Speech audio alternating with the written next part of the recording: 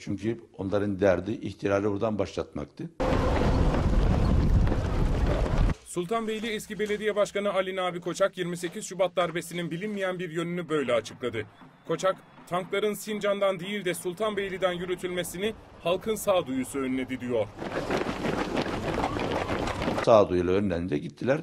İşi Sincan'da patlattılar. Onu da Filistin gecesini bahane ederek.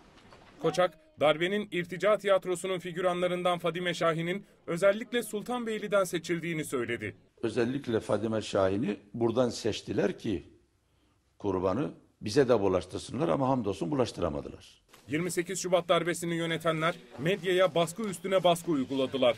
İstedikleri gibi yayın yapmayan gazeteleri, televizyonları kapatmaya çalıştılar.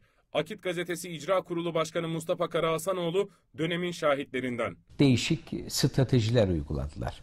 Bu stratejilerin en başında önce bir defa bir el bombası koydu. Gazetenin önüne konuldu. O bombanın akabinde Kaleşnikov'la bu binayı taradılar gece. Kara Hasanoğlu Kaleşnikov'u da 28 Şubat günlerinde doğrudan tehdit edildiğini açıkladı. buraya geldiler. Dediler ki bu devlet kendi bekası için her şeyi göze alır.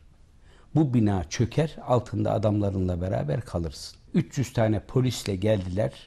Keskin nişancıları bu karşıki binaların üzerine dikerek gazeteyi sabah saat 10'dan öğleden sonra saat 16'ya kadar gazetede arama yaptılar. Tabii hiçbir şey bulunamadı.